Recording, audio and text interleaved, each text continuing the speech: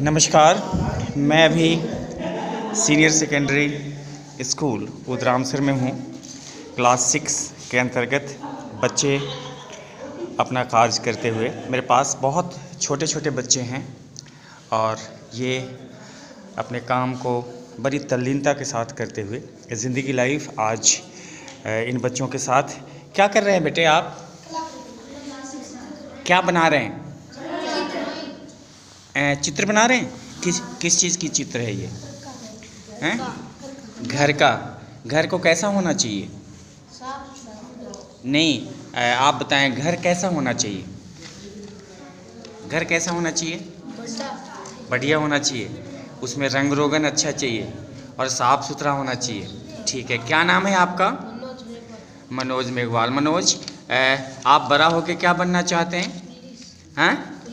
Police में जाना चाहते हैं। क्यों? पुलिस क्या करती है?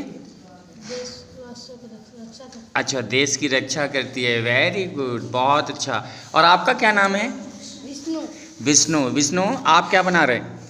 ड्राइंग। ड्राइंग बना रहे हैं? आपने कलर किया है घर का हैं? आप क्या बनना चाहते हैं बड़ा होके? अध्यापक। अध्यापक। वेरी गुड बहुत अच्छी बात।